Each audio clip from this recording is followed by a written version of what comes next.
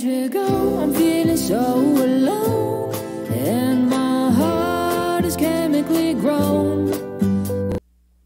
Hi everybody, welcome back to another MB Zoomer video.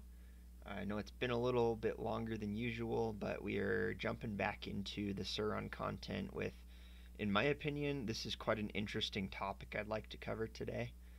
Um, we'll, we'll get into it after we get some of the housekeeping stuff aside. So first off, um, I would like to uh, mention the brewing video I released last week. Um, it, if you're interested at all in home brewing, um, check that out. It's I think it's a pretty good way to get started for cheap. Uh, very small investment of money and time um, to build your own fermenter. So check that out if you're interested. But I know most of you aren't here for the brewing content. You're here for the Sur-Ron content. So that's what we're doing today. Um, second off, um, a quick update on my uh, Marzocchi Bomber 58 fork. Um, I I mentioned previously that I had pre-ordered it from Jenson, and Jenson had told me that they would be getting a shipment in on January 19th. However, January 19th came and went, and they just didn't say anything at all, and then they postponed the shipment date another month. So I'm not super happy about that. I'm probably going to make a separate video on it, but basically, every, we're all going to have to wait another month to get that um, fork replacement video going. So for now, I'm still riding on my busted up, chopped up fork. Um, the final thing I want to talk about before we get into the actual video is I just want to share this with you. Um, it's a website called PredictIt where you can place bets on politics. So as you can see, we got a bunch of, um, well, here's the most relevant one next SCOTUS nominee.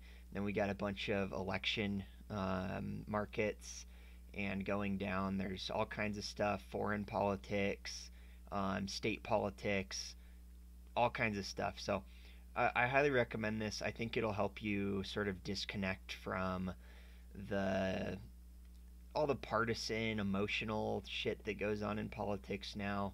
So I, I highly recommend checking this out. It's just uh, I think it's it's a good thing, and when when you got money in the game, you're less likely to just be super tribal and emotional about it. So I highly recommend. I've been using it for a year. It's real money. You get real payouts. Highly recommend this. All right. Um, before we get into the video, I would like to ask everybody uh, if you haven't subscribed yet, please subscribe to this channel. If you enjoy Sur-Ron content, we've got much, much more um, big plans coming in the future. So stick around for that. And then uh, like this video, please. Alright, so the topic of today's video is uh, Fechters. I think that's how you say it, Fechter. Um, Fechters Sur-Ron modifications. So this is on a forum called Endless Sphere, which I had not heard about until I stumbled upon this forum post. Um, it's basically an e-bike forum, but this guy Fechter, he has some really cool modifications that I'd like to share with everybody. Um, I, the the main purpose of it is um, he turned his Sur-Ron into a street legal uh, moped. So he registered this in, I believe, California. I'm not super clear on if it's California or can't. Oh, it says California right here. So he did this in California. So you can register a Sur-Ron as a moped, a street legal moped in California, which um, is probably a good idea since they have the most strict e-bike laws. Um, other places, a lot of places won't let you register a Sur-Ron as a street legal vehicle. However, it falls into the classification of an electric bike in most places besides California, so you can ride it on bike paths or in the street. I just warn you, um, please don't be dumb about it. That's my only request. If you're speeding by people walking their dogs on the sidewalk at 50 miles per hour, you're gonna you're gonna piss people off. So just don't do that. Don't be an asshole. All right, getting into it. So this is Fechter's uh, stock Sur-Ron when he got it. Honestly, a pretty cool Sur-Ron. I think they were shipping with the colored frames in like 2018 or 19. Um, so if you didn't get one of those, then I I think it's um, kind of a missed opportunity at this point. He also got a very nice RST Killa uh, white fork on there, so I really like the white look. Um, looks pretty good in my opinion. So here he's just talking about how he registered it as a moped in California. Um, and he also mentions that the Sur-Ron is running a 12 volt DC um, like uh, wiring setup for um, the lighting and all of that. So the first thing you need to do to make a bike street legal is to add blinkers and um, sort of street legal tail lights and stuff. So I think the Sur-Ron's tail light is already pretty compliant, but you do need blinkers. So that's the first upgrade here is his uh, blinker build, which I think is quite impressive. And I actually have plans to do some blinkers in the near future as well. So stay tuned and subscribe for that video. Um, Fechter was kind enough to work up a wiring diagram, which I found very useful. So he says it's mostly correct, so maybe don't take this as gospel, but it will help you sort of get a start, you know. Um, and the the circuit we're concerned about here is the one going from the controller to the DC DC converter. We got 12 volts out here and then we're looking at USB, uh, tail light, headlight, horn, all that stuff. So that's the circuit that we're mainly interested in here. Um, we also have a GPS circuit. I believe every Sur-Ron has this circuit in it. However, only the European versions actually come with a GPS tracker in it. So you can add your own. Um, good luck finding the proper wiring for that. But or the proper um, like plug-in for the wiring. But it's um, it's an option. You can just strip the wires. Worst case scenario. So moving on. Um, oh, he also talks about um, the easiest way to access the wires. Most people recommend to remove the ignition, which he shows here.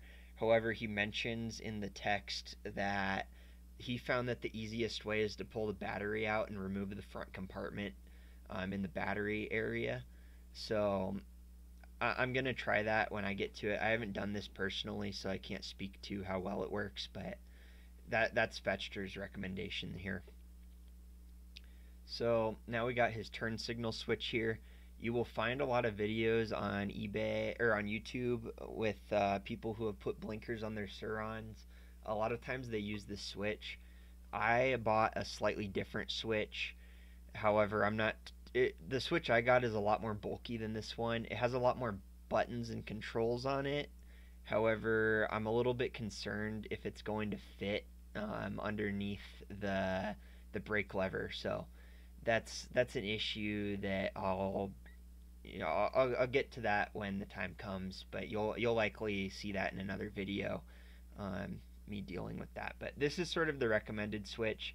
Most switches for blinkers I've seen are seem pretty cheap and don't get the best reviews, but it is um, sort of the most common, the most commonly used blinker switch for the Sur-Ron.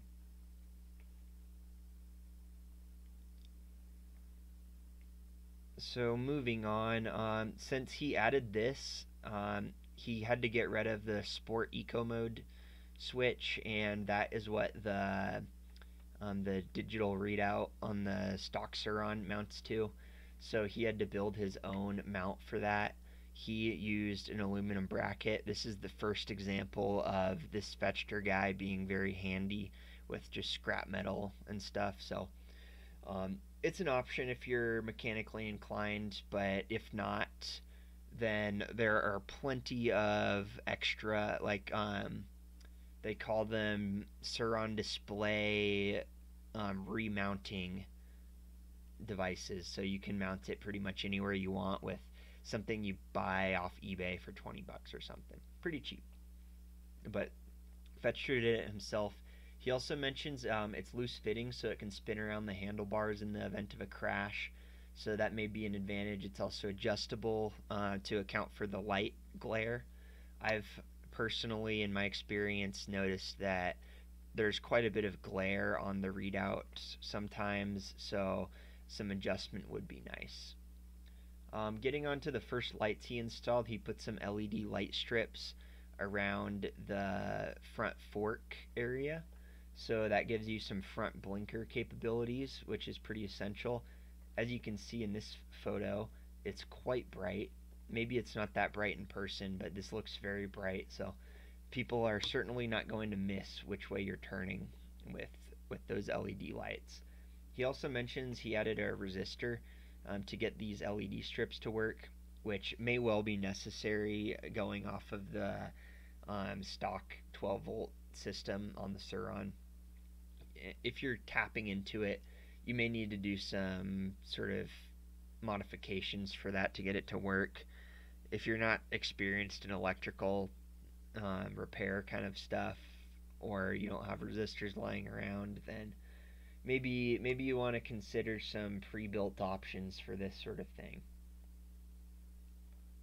Moving on to the tail lights, um, he bought a different tail light for his Sur-Ron, which also has blinkers and a license plate mounting area. The license plate mount is also important if you want to um, have a street legal Sur-Ron. He did build a custom mount to attach this to the bike, so that's something to keep in mind. Probably not going to be that hard of a job to do, but it is something to note that they, they do make um, t- like plate mounts for the Sur-Ron that are specifically meant to just plug and play on the Sur-Ron basically. Um, but you're probably not going to find too many street legal blinker kits with that that are also going to fit on the Sur-Ron. And then he leaves some nice eBay links here. I'm going to link this forum post in the description. So if you're interested in doing some of this stuff, um, you can follow that link and check out what Fechter did, and then you know to the best of your ability, um, or customize it yourself. Do that, whatever.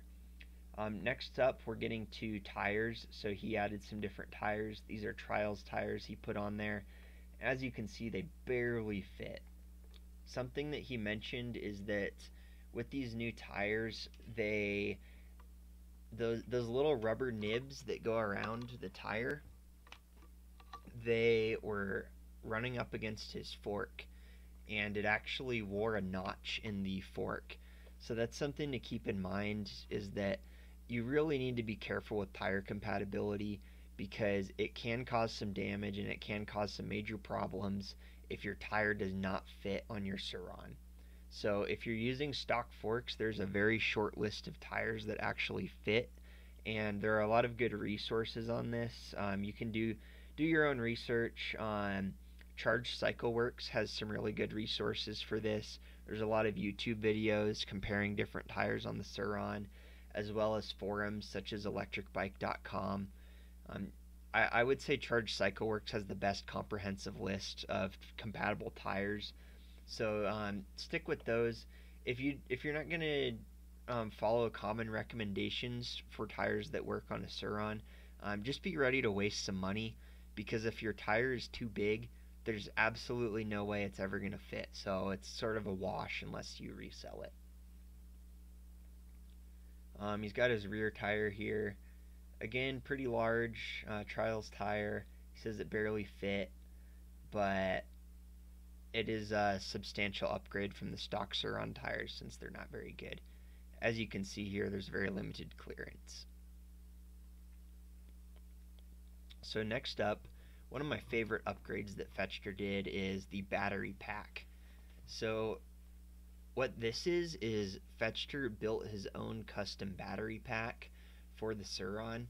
It seems like he already had this pack built, um, or at least set up on another bike, as pictured here. But it's a good showcase of the type of cases you need. Um, waterproof cases are going to be absolutely essential if you want to build your own battery pack. Oh, before we get into the cases, um, I'd like to say this is by far the most affordable battery upgrade you can get for a Sur-Ron because you can build your own 60 volt battery and then you can basically wire it as a backup battery for the primary Sur-Ron battery. So this is going to allow you to use the same controller. You don't need to pay for a new controller upgrade and it's going to allow you to double if not triple your range depending on how many cells you put in your battery pack. I do want to give a disclaimer here if you're not um, if you're not experienced in electrical um, repairs and design, then you may not want to take this sort of thing on since building your own battery packs can be dangerous and there's a lot of things that you need to do right to get it to work properly. However, I think most people could figure it out if they just spend a decent amount of time doing research. I'm no expert in this stuff, I have no formal education, but I, am personally getting ready to build one of these once the funds and tools become available to me. Anyways, um, the cases, you want waterproof cases for sure. You want some pretty heavy duty cases. Um, next up, he sort of goes over his mounting system. Um, he built just some fancy aluminum extrusion mounts. Um, this sort of thing you're going to probably not be able to follow very closely, um, but I'm sure you can come up with your own kind of thing. If you're taking on a project like this, you can figure it out, I'm sure. So there's his frame um, and sort of where he's mounting it right here. He screwed it to the bottom and then it seems like he just slides in the battery pack. Um, another thing that I thought was really cool with this build was his flip up seat. So he used a door hinge as the hinge on the seat. Um, and he used magnets to sort of latch the seat down. So as you can see, he now has room to put a tool case down there, which I think is a very efficient use of space, right? Everybody has a bunch of empty space underneath their Sur-Ron seat, but it sort of goes to waste if you're not doing something with it. So it, this is a pretty straightforward modification. You can just find your own door hinge, cut it down, set it up. Um, you can use magnets or you can use something similar to the battery case lock, but that should give you uh, a nice area for a toolkit or an alarm or whatever you want to put down there. So now getting into his build on the custom battery pack. Fechter provides a very good general guide for how to build uh, your own lithium battery. You are going to need to do some more research on this if you want to do it yourself, but he gives a good overview of what is involved with it. So the key to this is going to be doing your homework. If you don't wire it right, then you're either going to have a battery pack that doesn't work at all, or you're going to have a battery pack that catches on fire. And that's about the last thing you need. Um, usually it's a strip of nickel that is spot welded down to the cells. So this requires a lot of spot welding. Spot welders are cheap and easy to make. Um, you can build one out of an old microwave, which I, you can find videos about on YouTube. So that's something to consider if you want to do this sort of thing. And then um, the one of the keys to getting this to work is lots of padding and insulation. So as you can see, he used some fiberglass tape to secure the batteries together. And then uh, after this, we'll get into more modifications. Your battery cells are going to be the most expensive part of building your own battery. However, it is far cheaper than building your own or than buying a, a pre-built Sur-Ron battery modification. Um, Sur-Ron battery mods usually cost about two thousand dollars give or take. Um, and building your own Sur-Ron battery is very variable, but will likely cost you no more than about a thousand dollars, depending on how expensive the cells are. Okay, here's his main electrical leads, and then he's showing he taped over a lot of the cells. That's um, one layer of insulation there. Um, he's got those big heavy duty connectors on. He's got two of them since he has two sides of the battery pack. Now he's putting down some Nomex paper for insulation. Um, and it's important to insulate. of course. Um, this is a BMS system, so battery management system basically manages the charging of your battery. It's going to be very important for your battery health, so I you're going to need to do some research on this. They're not hard to wire, it's just a lot of wires that you need to keep track of. So I, I have full faith that you guys can figure this out, but just keep in mind that's another component you're going to need on top of the lithium cells and spot welder and wires and all that. So here he's packing it in the cases with lots of foam insulation to prevent you know bumps and crashes and all that from disturbing the batteries. If these cells fall out of place where they're supposed to be, again, you're going to run into issues with fire. And then now he's mounting it on the bike. I would say this setup looks pretty slick. Um, it's very clean, and I think it's the cleanest way to add an additional battery to the Sur-Ron outside of the stock battery in the battery compartment. Um, Fechter com- claims that um, the rated capacity of his battery build is 29 amp hours, which is pretty much the same as the stock Sur-Ron battery. However, he does acknowledge that this is 29 amp hours under ideal conditions, which you will almost never be operating under in the real world. And he also says the batteries are seven years old, so it's probably a lot well, not a lot less, but a bit less than 29 amp hours. However, it's basically free extra battery space. So it's even if it's 20 amp hours, it's still a big upgrade on top of the regular battery. So yeah, it's um, a very nice look, and I also like his um, caution tape on the on the stock battery there. I think that's kind of a cool touch. Um, pretty low profile it seems, and then he says he can just slide it right off, um, super easy. So I, I, think that's a huge selling point is being able to remove that uh, extra battery pack if you decide to do this. He says he can go full throttle for at least 40 miles. Pretty impressive. Uh, when I tested my bike on full throttle, I got 18 miles until dead battery. So that's gonna pretty much double your range if you're going for a battery pack like this. Of course, there's a lot of factors that play into what your range is to be, but um, an extra battery pack is certainly going to improve it. Then he talks about mirrors, um, just some cheap eBay mirrors. He says he mentions that they're pretty good for off-road. Um, they didn't move any at all, so you don't have to spend much on mirrors. I got some cheap eBay mirrors as well, and they work great. Um, motorcycle mirrors should not be your most expensive upgrade. Another thing he mentions is Shimano brake pads. These are absolutely essential. I totally agree with him on that. Um, you really need to get Shimano brake pads. That you should do that before you even ride your Sur-Ron. Honestly, the Sur-Ron brakes are horrible. So just just get some upgrades. They're like 45 bucks for the brake pads um, for one set. They're kind of expensive, but honestly, y- you don't want to mess around. You don't want to cheap out when it comes to stopping your bike. It's really a safety issue. Next thing he talks about is uh, drilling holes in the skid plate. Um, this is maybe a questionable modification. He does it uh, to improve cooling on the bike which I can understand since he's adding the extra battery power and riding it on the street mostly, so that's going to heat up the battery when you're riding full throttle for prolonged periods of time.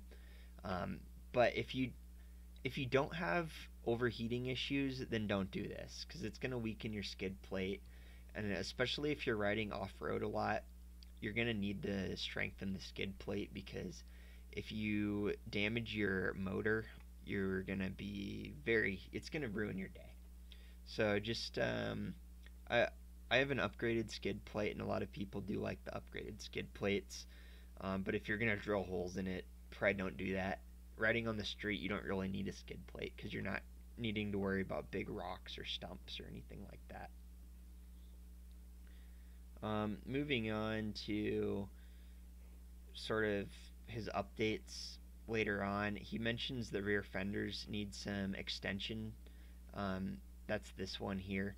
I've also noticed uh, riding through mud, water, snow, all that stuff, that rear fender's not long enough. I get mud up on my back all the time. So they they do sell extended rear fenders on eBay. There are several different kinds.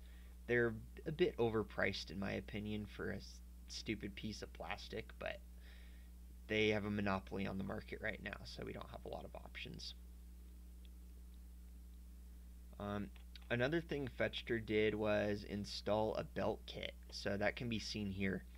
There are certain advantages and disadvantages to a belt. Um, one advantage is it's going to make the bike a lot quieter, so that may be appealing to some people, maybe not to others. I kind of like my bike being loud because it's just cool. The belt also improves efficiency because spinning a chain around at high speeds like that requires a certain amount of energy. And that energy is taking away from your speed and your battery power. So, adding a belt is a lot lighter, so it's going to give you more efficient energy transfer to the rear wheel, which is a very good thing. Um, however, the main advantage of a chain is that they can just take a lot more of a beating. So chains are very robust. Chains are mass produced, so they're pretty cheap. And it's going to be able to take more abuse than a belt can. I've heard a lot of people mention, um, mostly in the cycling community, belts last longer and they're pretty good in mud and water and all that. You just have to wash them out um, at certain intervals. So, something to consider. This belt kit installation does not look very easy to me since you have to pretty much totally strip the bike, but it's it's an upgrade that's out there for certain people. You can get a belt kit from Luna. He also gives some uh, range testing and handling info later on. Uh, he got pretty good range out of this whole setup, but again, it's very dependent on your personal build. It's got a nice GPS on here and everything. Um, and then the last thing is he mentioned some issues with um, the motor heating up quite a bit after prolonged use, riding at full throttle. So he said he was riding for about 30 minutes at full throttle, and even with those extra cooling holes in the skid plate, the bike still got pretty warm. So take that into account if you are extending the battery and riding full throttle regularly, you're going to heat up the motor it didn't cause him any problems, but maybe if you go for one hour at full throttle instead of 30 minutes, you're going to end up running into some more serious issues with that. So that's pretty much everything I wanted to cover in this video. Um, I, I just think Fechter has some really cool mods here. Primarily the extra battery kit, and then I think he did a good job of adding blinkers and everything. So I, I just wanted to share that with all of you. I I think Fechter did a very good job putting this forum post together, and I think we could all learn something from it. So, in the future, you can look forward to a video about installing blinkers on my bike. I'm going to do a little bit uh, different build than Fechter, but um, just keep an eye out for that video. And then I really like his battery idea because I don't have $2,500 to spend on an upgraded battery and an upgraded controller for my Sur-Ron. So, that makes this sort of custom battery setup the best option. I would I would really love to see a company come out with a battery setup like this because I think a lot of people would be very interested in it. I don't necessarily want a 72 volt Sur-Ron. However, I do want a lot more range because my Sur-Ron is only getting 20 miles on a charge right now. And I think there's a lot of room for improvement there. So, this is a good way to add some more battery capacity without really increasing the overall footprint of the bike. And then it's also very modular. You can remove it whenever you want. So, props to Fechter for doing this sort of thing and putting it all together in a nice forum post that we can all enjoy. Um, like I said, I'm going to link this in the description, so check that out if you want to read this in depth and maybe do some of it yourself. Let me know what you think about what Fechter did. And I just like to say thank you to everybody for watching. If you're still around, uh, you made it to the end. Congrats. Um, and just don't forget to leave this video a like and subscribe to my channel. I really appreciate it. And yeah, thanks for watching. I hope everybody has a wonderful day. Uh, good night.